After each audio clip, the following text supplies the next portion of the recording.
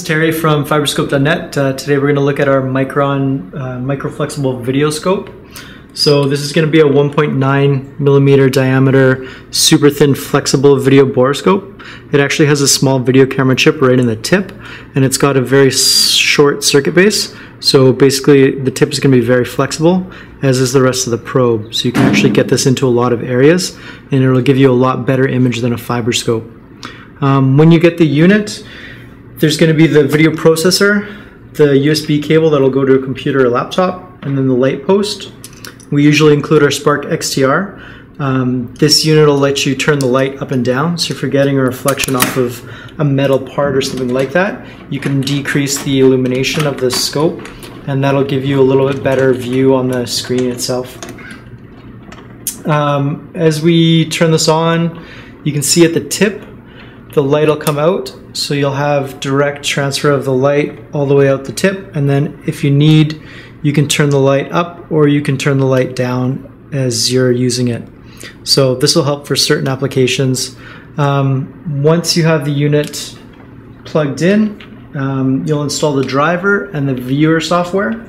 So if we connect this and then open up the viewer program, you'll see the live image will be on the screen you can increase this to 200%. It'll make the image that you see on the screen a lot better.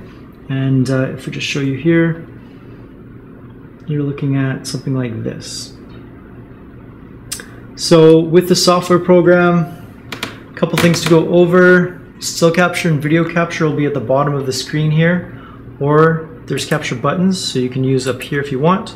When you capture an image, it's going to offer um, a pop-up window that'll ask you where you want to save it.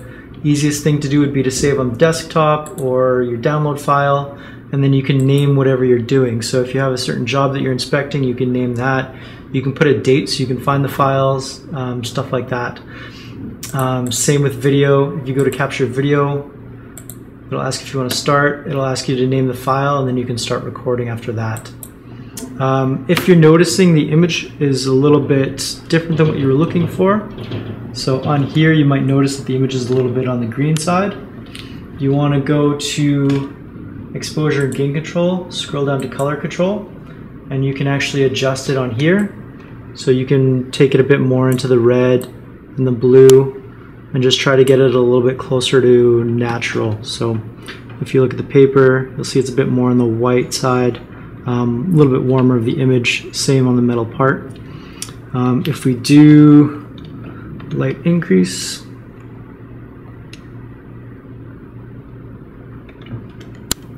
you can see same one here, it'll be a little bit more to the red side. Um, and then again, you can adjust this, so knock that back a bit.